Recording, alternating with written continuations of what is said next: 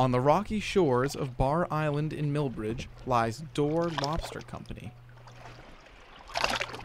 Here, they have a variety of pens, docks, and state of the art holding tanks for lobsters. The Dorr family has been catching and selling lobster for nearly 40 years. Chad Dorr is the business manager for the company.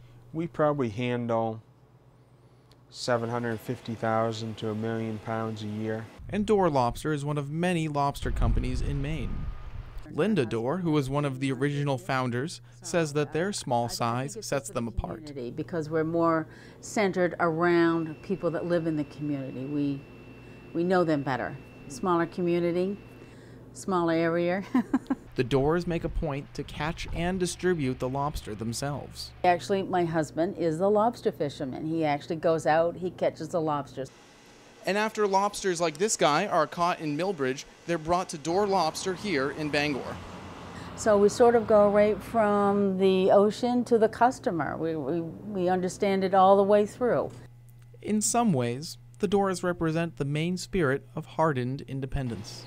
For NESCOM Connection, I'm Calvin Cutler.